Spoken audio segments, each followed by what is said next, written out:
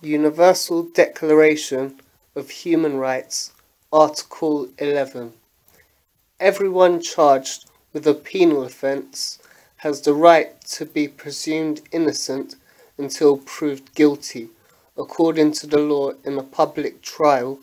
at which he has had all the guarantees necessary for his defence. And also, no one shall be held guilty of any penal offence on account of any act or omission which did not constitute a penal offence under national or international law at the time when it was committed,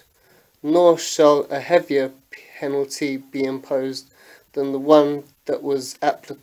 applicable